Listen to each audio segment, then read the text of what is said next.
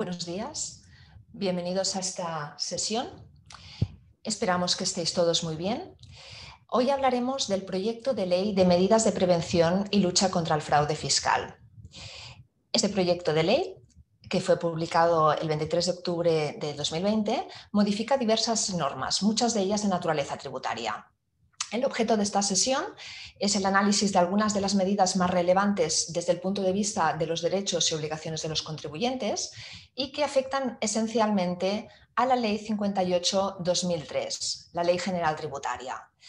Ah, algunas de estas medidas son favorables, eh, aunque por desgracia no muchas, y como veremos, eh, en muchos supuestos eh, se da rango de ley a determinadas prácticas eh, administrativas, a determinadas actuaciones que venían siendo muy cuestionadas por nuestros tribunales de justicia.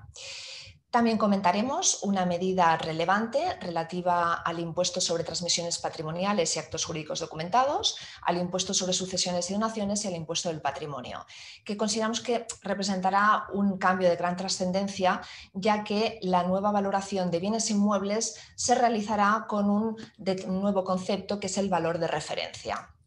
Para todo ello, eh, contaremos con Daniel Cuyás, asociado senior del Departamento Contencioso Tributario del despacho, y yo misma, Nuria Nicolau, socia del mismo departamento.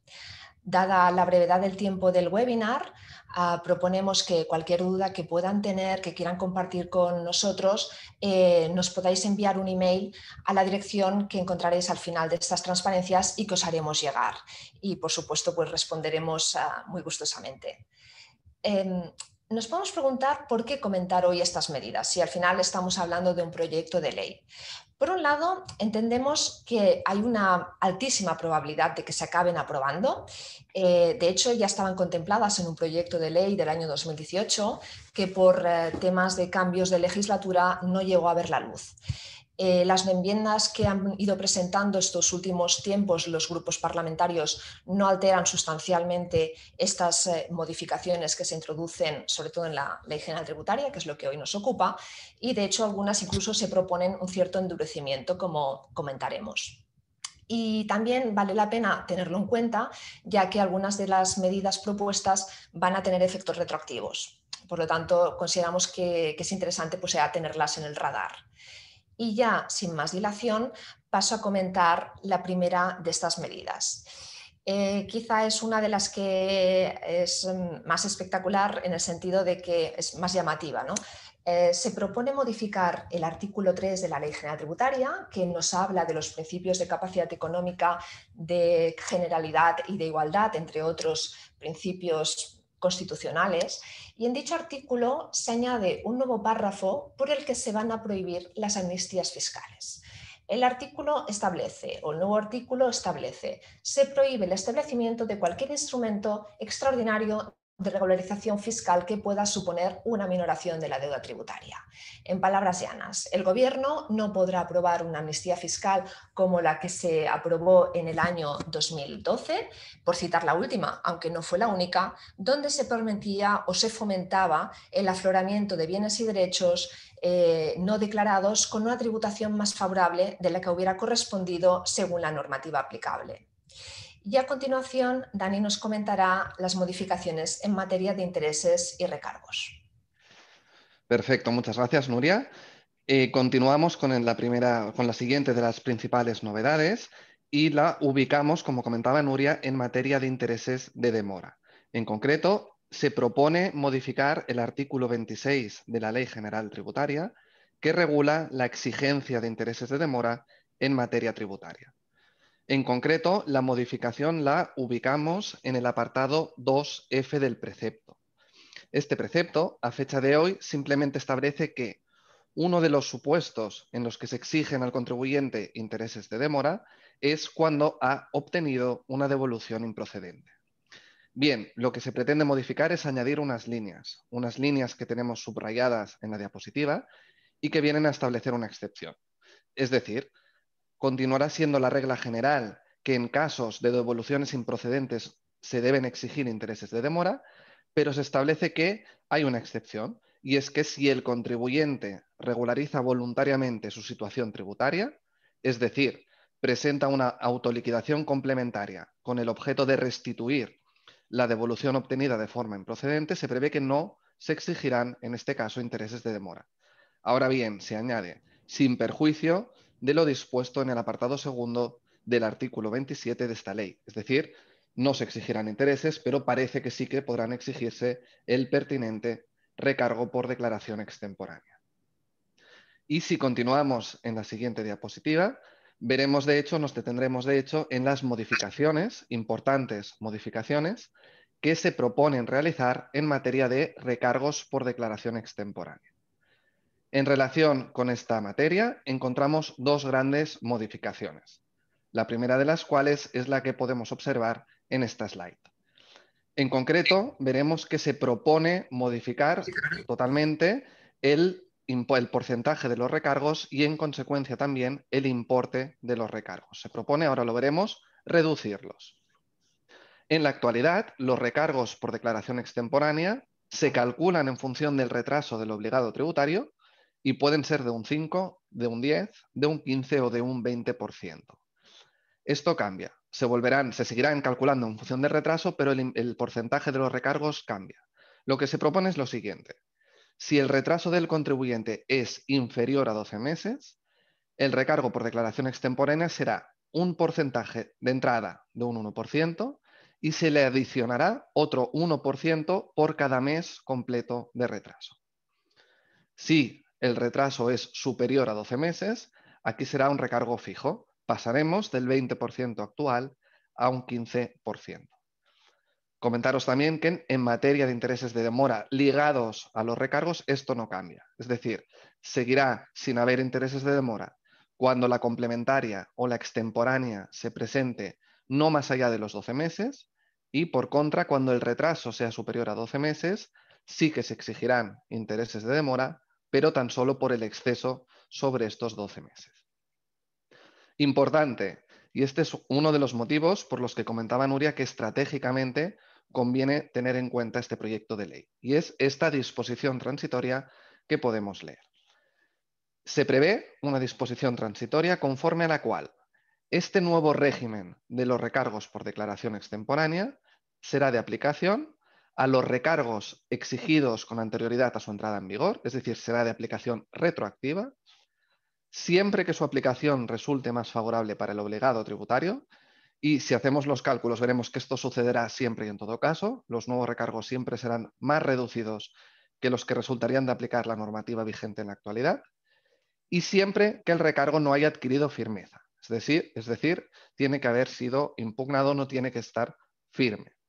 Por lo tanto, por razones estratégicas, podría ser un buen consejo, puede ser una buena estrategia si tenemos un recargo por declaración extemporánea, a fecha de hoy encima de la mesa o se nos notifica durante los próximos días o semanas, puede ser una buena estrategia, decíamos, recurrirlo.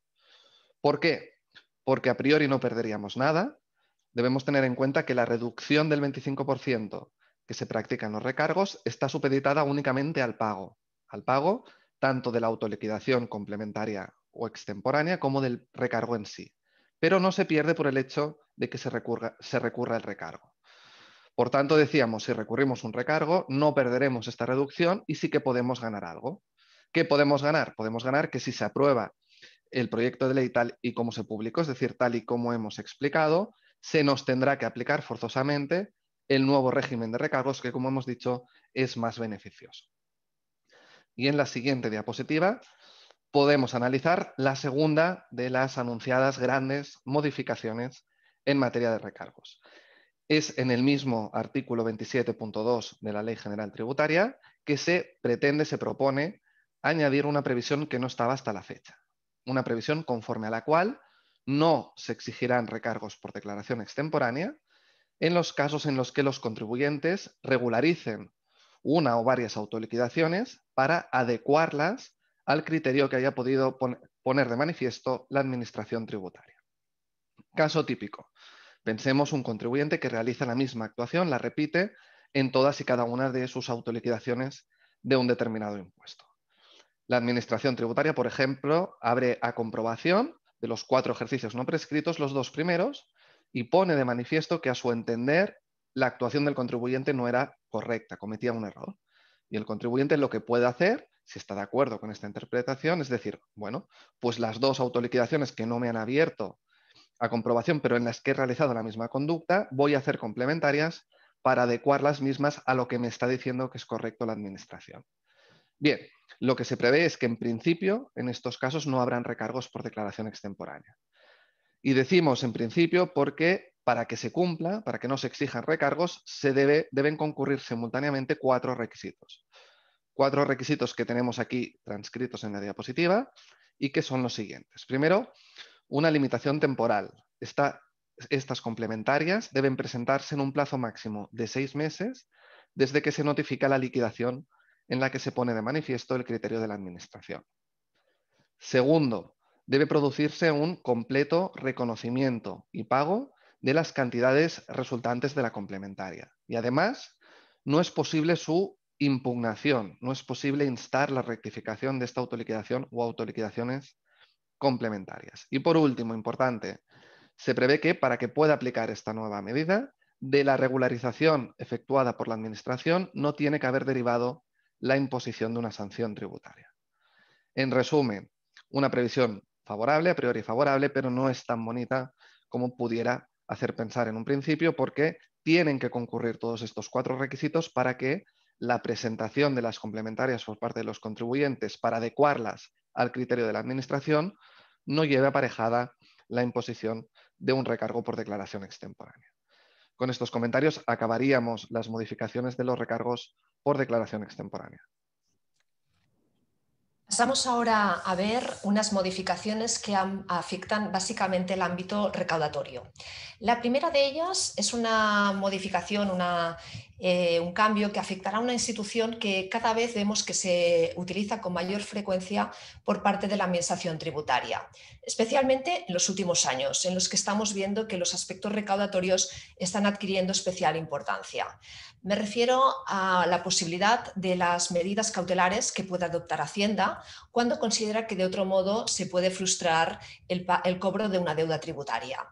Eh, son medidas que se adoptan de manera sorpresiva durante el procedimiento inspector o de comprobación y eh, se adoptan antes de la finalización incluso del periodo voluntario de pago, es decir, antes de que el deudor pueda tener la oportunidad de saldar su deuda con Hacienda, eh, puede verse afectado por este tipo de medidas. Em, estas se adoptan cuando Hacienda considera que hay un riesgo de que no se acabe pagando. Y entonces, en estos casos, pues, se pueden retener devoluciones pendientes de IVA, por ejemplo, o adoptar medidas mucho más gravosas, como pueden ser embargos cautelares de cuentas corrientes, de inmuebles eh, o de eh, créditos de clientes con, pues con un daño eh, moral, reputacional y, económico pues, importante. Pues bien, aquí eh, en relación con estas medidas que, ya están previstas en la, norma y que se vienen utilizando, que vale la pena pues, tener en mente, eh, es que se pretende añadir un nuevo supuesto. Eh, lo que se pretende es que si un contribuyente impugna una liquidación tributaria ante los tribunales económico-administrativos y solicita la suspensión con garantías distintas al aval bancario, por ejemplo, una hipoteca inmobiliaria, o con dispensa total y parcial de garantías, eh, lo cual es perfectamente legítimo, el Departamento de Recaudación puede adoptar en estas circunstancias una medida tendente a asegurar el cobro de la deuda. Una de estas medidas pues, que, comentábamos, ¿no? el, embargo cautelar de, bienes ya del, contribuyente. Eh, esta medida solo podrá levantarse por el transcurso de los seis meses, prorrogables a seis meses más, que es la, regulación de este tipo de medidas eh, cautelares, eh, o bien en función de lo que resuelva el órgano competente sobre la suspensión instada. En mi opinión, esta medida es completamente contraria a la institución de la suspensión de la deuda tributaria, que en el fondo no deja de ser una garantía más que conforma el, derecho constitucional a tener una, tutela judicial efectiva. Si eh, mm, para mm, eh, acabar obteniendo la razón eh, se nos han embargado los bienes de la compañía o de la persona que estaba recurriendo, pues dijéramos que eh, la tutela judicial efectiva no se ha cumplido en este caso. Pues bien, eh, de momento esto está así previsto. Por supuesto, estas medidas pueden impugnarse, pero bueno, al final el problema residirá eh, sobre todo en el tipo de medida que adopte Hacienda, ya que puede provocar mm, un mayor o menor descalabro en el patrimonio del contribuyente. La siguiente de las, medidas que, se modifican eh, dentro del ámbito recaudatorio que queríamos comentar hoy con, vosotros es eh, una modificación que afecta al, famoso, al ya famoso registro de morosos que anualmente publica la EAT. Eh, en los que, bueno, como, como todos sabréis, aparecen una vez al año aquellos contribuyentes que tienen deudas impagadas superiores a un millón de euros se introducen determinadas novedades. Por un lado, además de los deudores, se tendrán en cuenta o se aparecerán los responsables solidarios, con lo cual, para una misma deuda pueden aparecer varios nombres. Eh, por otro lado, se baja el umbral del, importe pendiente de pago a 600.000 euros, con lo cual probablemente veremos que eh, el año que viene la lista será mayor. Eh, y por otro lado, también con el fin de eh, incrementar eh, estas medidas, que al final no deja de ser una medida que pretende incentivar al pago de las deudas, se prevé que si se paga la totalidad de la deuda antes de finalizar el plazo de alegaciones, no se aparecerá en el listado. Recordar aquí que eh, Hacienda tiene en todo caso que mm, cumplir con un procedimiento ah, frente al deudor ah, que se va a ver afectado por esta medida previamente a la aparición de eh, los nombres en el listado. Una lástima que, estas modificaciones sean tendentes a, endurecer el régimen, pero no se haya aprovechado esta reforma para poner remedio a muchos de los defectos técnicos y déficits normativos que se vienen apreciando en esta institución y con los que se pierde eh, a mi entender al menos, un poco la finalidad eh, ejemplarizante que tiene esta figura. Por ejemplo, sin ir más lejos, si se solicita el aplazamiento o la suspensión de la deuda y a 31 de diciembre esta solicitud que se presentó en periodo voluntario todavía no está resuelta, eh, aquí Hacienda no puede apremiar. Estamos todavía en una fase en la que la deuda hay una especie de suspensión cautelarísima que, está obrando. Y sin embargo, a, se aparecerá en el listado de deudores a pesar de que la suspensión o el aplazamiento se acabe concediendo. Esto ciertamente técnicamente no parece muy correcto. Ya pasamos a la siguiente novedad. En materia de, procedimiento inspector, las novedades son escasas y de poca relevancia, porque ya hubieron novedades muy importantes en el año 2015. Básicamente, en materia de actas de disconformidad, se propone modificar el artículo 157 de la Ley General Tributaria que establecía, establece hasta a fecha de hoy, que cuando se incoa un acta de inspección en disconformidad, el inspector actuario debe también confeccionar un informe, el llamado informe de disconformidad. ¿Qué sucede? Que en la práctica normalmente este informe no es más que una reiteración del contenido mismo del acta y tenía en definitiva poca relevancia práctica este informe. Muy probablemente por esto lo que se prevé es que a partir de ahora este informe de disconformidad pasará a ser optativo. Es decir, el inspector podrá decidir si considera necesario o conveniente confeccionarlo o no. Si pasamos a la siguiente diapositiva, nos vamos a una novedad, esta más relevante, que se pretende añadir en el artículo 161 de la Ley General Tributaria que es el precepto que regula la recaudación en periodo ejecutivo. En el artículo 161, apartado segundo, se propone añadir un nuevo párrafo, un párrafo que no estaba a fecha de hoy y que lo tenemos subrayado en la slide. Este párrafo parecería ha sido redactado por Hacienda porque de hecho lo que hace es recoger un criterio interno de la propia Hacienda que se estableció en el año 2016. En el año 2016 el director del Departamento de Recaudación firmó y, redactó lo que dijo que era una nota interpretativa interna que remitió a los distintos órganos de recaudación y les decía cómo, eh, a su entender, debía interpretarse la normativa tributaria en relación con un determinado aspecto que ahora veremos. Esta interpretación nosotros no la compartíamos y lamentablemente el proyecto de ley la recoge, la recoge en este párrafo que, que vemos aquí transcrito. ¿Qué es lo que dice? Lo que establece es que cuando a un contribuyente se le deniega una petición, ya sea de suspensión, de aplazamiento, fraccionamiento, de compensación o de pago en especie, cuando se le notifica el acuerdo denegatorio, lo que prevé la normativa es que se abre un plazo de pago del artículo 62.2, es decir, un nuevo plazo voluntario de pago. Lo que se prevé es que este plazo es única y exclusivamente de pago, de ingreso. Y si no se realiza el ingreso, bien porque no paga, bien porque el contribuyente decide realizar una nueva petición, por ejemplo, me denegaron una suspensión y ahora pido un aplazamiento, esto lo que se prevé es que esta nueva petición no impedirá el inicio del periodo ejecutivo. En definitiva, si tras una denegación de una de estas peticiones no se produce el ingreso de la deuda dentro del plazo abierto con la notificación de la denegación, la deuda entrará en periodo ejecutivo. Y con esto, ahora Nuria nos pasará a explicar las novedades en materia sancionadora. Sí, efectivamente. También tenemos novedades en relación con el régimen de, infracciones y sanciones tributarias. En primer lugar, se prevé incrementar las reducciones de las sanciones por conformidad. Así, por un lado, se prevé que la reducción de la sanción por la firma de un acta con acuerdo pasa a ser del 65% frente al 50% que está establecido actualmente.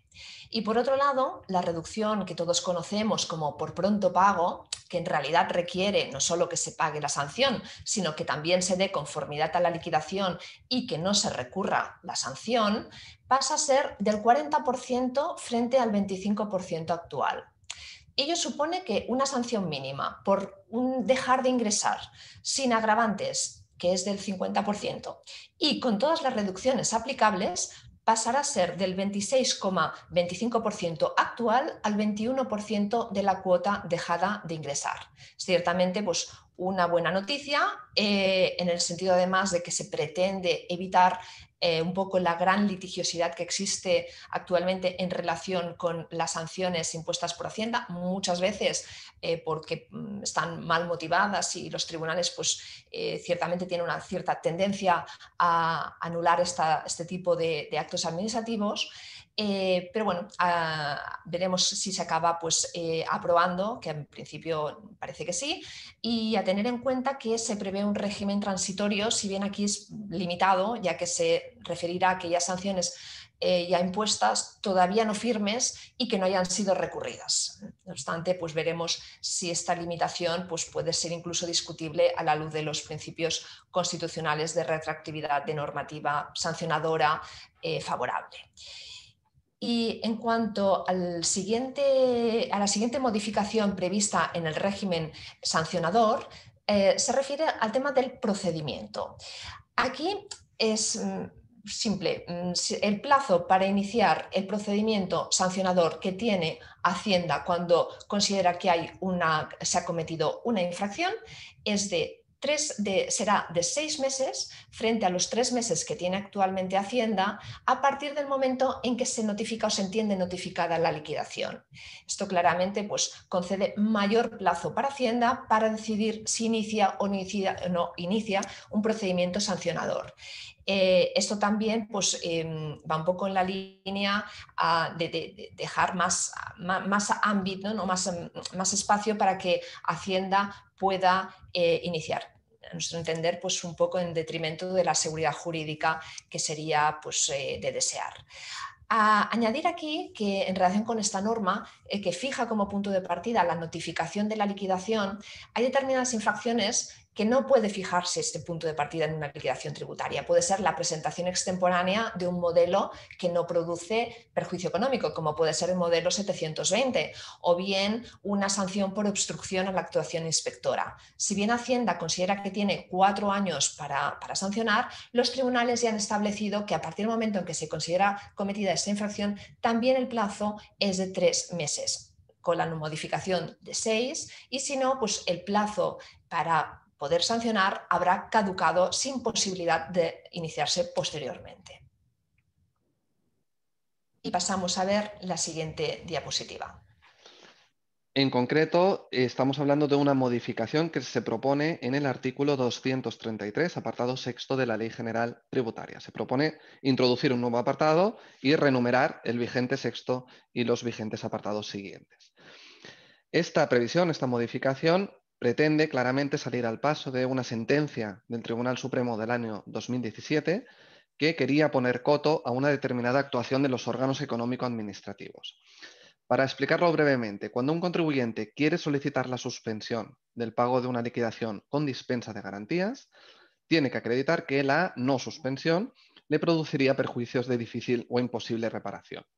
Lo que venían haciendo los tribunales económico-administrativos, que son los órganos competentes para decidir la suspensión cuando es con dispensa, es que si creían, interpretaban que de la documentación aportada por el contribuyente no se desprendía este riesgo de ocasionar perjuicios de difícil o imposible reparación, inadmitían la petición de suspensión, con la consecuencia gravosa que situaban a la deuda de forma automática en periodo ejecutivo.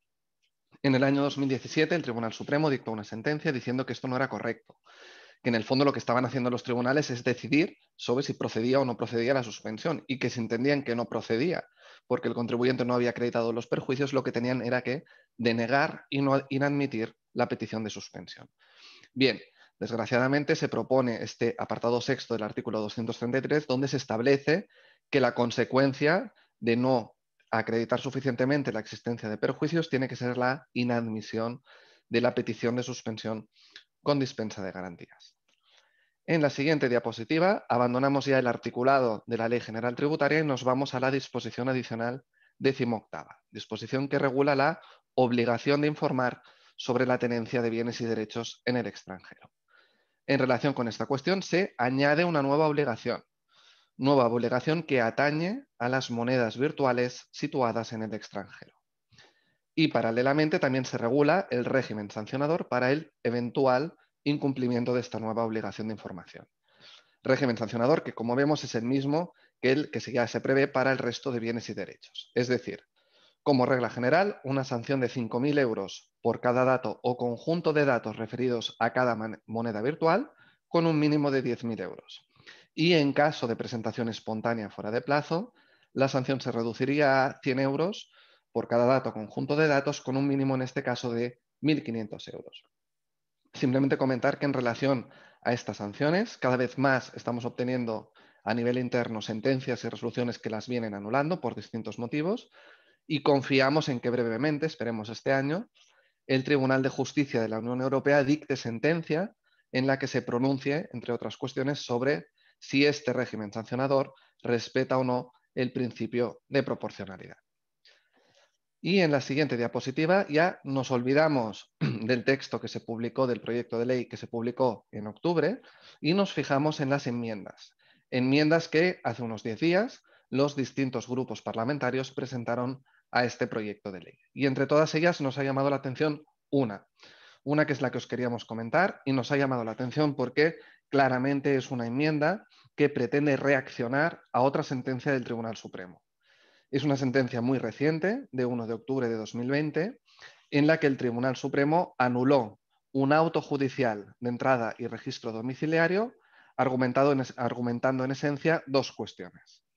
Uno, entendía que no estaba justificada la entrada y registro, venía a decir que no se puede realizar estas entradas y registros por meras sospechas, a ver qué encontramos. Y dos, incluso más importante, estableció que era necesario que con carácter previo a la entrada de registro se le hubiera notificado al contribuyente de forma formal el inicio del procedimiento de comprobación. Bien, para reaccionar a esta sentencia se propone modificar en esta enmienda el artículo 113 de la Ley General Tributaria, estableciendo, primero, que la solicitud de autorización judicial tiene que estar justificada, motivada y ser proporcional. Y segundo, el último párrafo, que tanto la solicitud como la concesión de esta autorización judicial pueden practicarse incluso con carácter previo al inicio formal del procedimiento de comprobación. Y con esto doy paso nuevamente a Nuria. Sí, ya para terminar, la última novedad eh, que queríamos comentar hoy es la introducción de una modificación, unas modificaciones, tanto en la normativa de ITP AJD como en el impuesto sobre sucesiones y donaciones y en el impuesto de patrimonio, eh, en relación con la valoración de determinados bienes y derechos. Eh, hasta ahora la norma prevé que, estos, eh, que los bienes deben declararse por su valor real. Pues bien, lo que se prevé aquí es sustituir este concepto de valor real por un valor un concepto de valor de mercado. De hecho, aquí ya algo que los tribunales ya venían afirmando. Y eh, en relación únicamente con bienes inmuebles, el resto de bienes se mantiene la misma valoración prevista en la normativa específica, se crea el valor de referencia. El valor de, referencia es em, un concepto que ya se introdujo en el año 2018 en la ley del cadastro, en la que se prevé que eh, se podrá estimar o se estimará de forma objetiva para cada bien inmueble un determinado valor y que se fijará a partir del análisis de precios comunicados por los notarios en transacciones inmobiliarias que hayan sido efectuadas, contrastados con otras fuentes de información. De momento hay muy poca eh, regulación en la materia y desde luego faltará la regulación reglamentaria oportuna pero en principio la idea es sustituir el valor de mercado o venir a buscar el equivalente del valor de mercado eh, con este valor de referencia. Eh, también se prevé que no podrá discutirse autónomamente este valor de referencia, es decir, si vemos que nuestro inmueble ah, tiene asignado un determinado valor de referencia que consideramos que no es correcto, que no se ajusta al valor de mercado, no lo podremos impugnar, pero sí que lo podremos discutir cuando eh, impugnemos la liquidación en la que se nos viene, la que la administración nos lo pretende aplicar o incluso en la autoliquidación en la que nosotros presentemos en relación con alguno de estos impuestos. Y un poco para resumir, ¿cuál es el que hay que declarar? En principio, eh, lo que establecerán estas normas es que se tomará el mayor de el valor declarado en la escritura, el precio, tanto en ITP eh, como, en, AJD o en la escritura de donación o de, o de sucesiones, eh, o, el valor de referencia. Para el patrimonio, como bien sabemos, hay tres eh, valores a tener en cuenta hasta ahora. Se toma el mayor de catastral, el valor comprobado o el valor de adquisición. Ahora se, añadirá este cuarto valor que también habrá que valorar por si es el más alto y es el que habrá que declarar. En resumidas cuentas, eh, con el fin de acabar un poco con, eh, los innumerables eh, litigios y pleitos que hay actualmente con las comprobaciones de valores, se pretende objetivizar este valor. El, tiempo pues, nos dirá si realmente este objetivo de reducir litigiosidad se, se cumple. Y hasta aquí pues, las novedades que consideramos más relevantes en, esta materia ah, y que prevé el, proyecto de ley de lucha contra el fraude. Agradecemos muchísimo vuestra atención. Recordaros que cualquier pregunta o duda nos la podéis mandar por email a la siguiente dirección, webinars.cuatrecasas.com y que estaremos encantados de poder eh, responderlas. Eh, solo desearos que tengáis un excelente día y muchas gracias. Gracias.